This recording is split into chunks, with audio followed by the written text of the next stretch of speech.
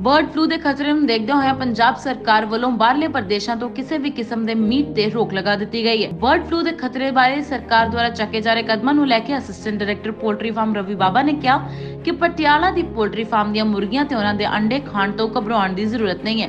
ਮਾਮਲਾ ਅਜੇ ਤੱਕ ਪੰਜਾਬ 'ਚ ਨਹੀਂ ਪਹੁੰਚਿਆ। ਉਹਨਾਂ ਇਹ ਵੀ ਕਿਹਾ ਹੈ ਕਿ ਅੰਡਾ ਜਾਂ ਮੁਰਗੀ ਦਾ ਮੀਟ ਜਦ 70 ਤੋਂ 100 ਡਿਗਰੀ ਟੈਂਪਰੇਚਰ ਤੇ ਚੰਗੀ ਤਰ੍ਹਾਂ ਪੱਕ ਜਾਂਦਾ ਹੈ ਤਾਂ ਉਹ ਕਿਸੇ ਵੀ ਤਰ੍ਹਾਂ ਦਾ ਨੁਕਸਾਨ ਨਹੀਂ ਕਰਦਾ। ਇਹ ਸਿਰਫ ਲੋਕਾਂ ਦੁਆਰਾ ਫੈਲਾਇਆ ਜਾ ਰਿਹਾ ਭ੍ਰਮ ਹੈ। ਅਹ ਡਾਕਟਰ ਸਾਹਿਬ ਵਰਲਡ ਫਲੂ ਬਾਰੇ ਦੱਸੋ ਪੰਜਾਬ ਦੇ ਵਿੱਚ ਕੀ ਸਥਿਤੀ ਹੈ? ਬਰਡ ਫਲੂ ਇੱਕ ਮੁਰਗੀਆਂ ਦੀ ਬਿਮਾਰੀ ਹੈ ਜਿਹੜੀ ਕਿ ਇਨਫਲੂਐਂਜ਼ਾ H5N8 ਵਿਸ਼ਾਣੂ ਨਾਲ ਹੁੰਦੀ ਹੈ। ਪੰਜਾਬ ਦੇ ਵਿੱਚ ਫਿਲਹਾਲ ਇਸ ਦਾ ਕੋਈ ਵੀ ਕੇਸ ਸਾਹਮਣੇ ਨਹੀਂ ਆਇਆ।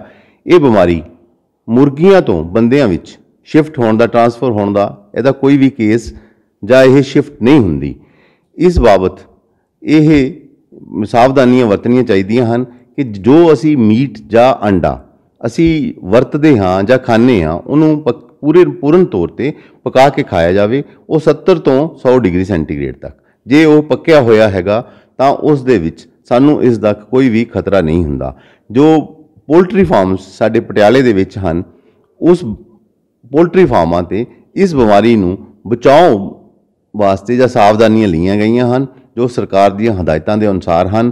ਉਹ ਬਾਇਓ ਸਿਕਿਉਰਿਟੀ ਮੈਜਰਸ ਹੁੰਦੇ ਹਨ, ਜਿਸ ਜੋ ਪੋਲਟਰੀ ਫਾਰਮਸ ਤੇ ਲਏ ਜਾਂਦੇ ਹਨ।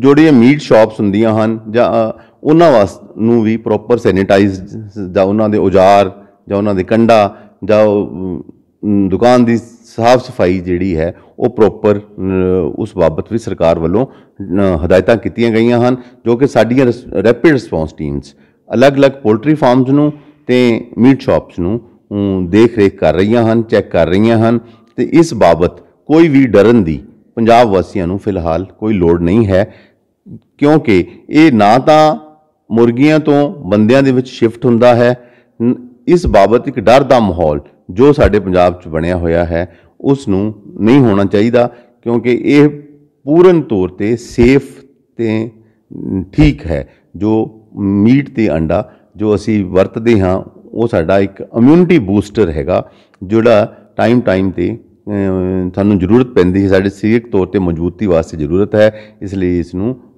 ਬੇਖੌਫ ਹੋ ਕੇ ਵਰਤਣਾ ਚਾਹੀਦਾ ਹੈ। ਵੀਰ ਜੀ ਕੀ ਨਾਮ ਹੈ ਜੀ ਤੁਹਾਡਾ? ਰਾਮ ਗੋਪਾਲ ਜੀ। ਕਿੰਨੇ ਅਹ, ਤੁਹਾਡੇ ਕੋਲ ਪੋਲਟਰੀ ਫਾਰਮ 13000 13500 ਬੱਚਾ ਹੈ। ਵਰਲਡ ਫਲੂ ਦਾ ਕੋਈ ਅਸਰ ਨਾ ਜੀ ਕਿਸੇ ਬਿਲਕੁਲ ਤਰ੍ਹਾਂ ਨਾ।